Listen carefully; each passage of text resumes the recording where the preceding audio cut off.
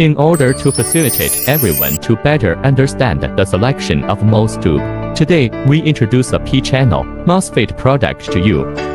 Model 2303 Agnon HFVB.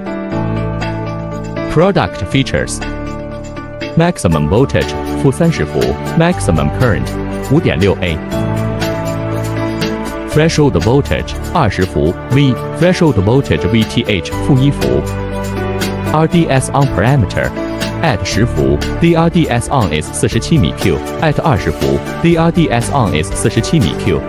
二三零三 a g n a n HFVB is suitable for SOT 二三 packages and is mainly used in circuit design where current, resistance, and voltage stability are required.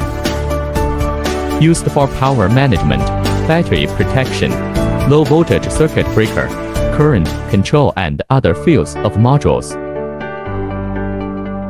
This is R303 Agnon HFVB. Well, today's product introduction of YB is here. If you like it, you can pay attention. Have any questions or need answers? Welcome to leave a message in the comment area.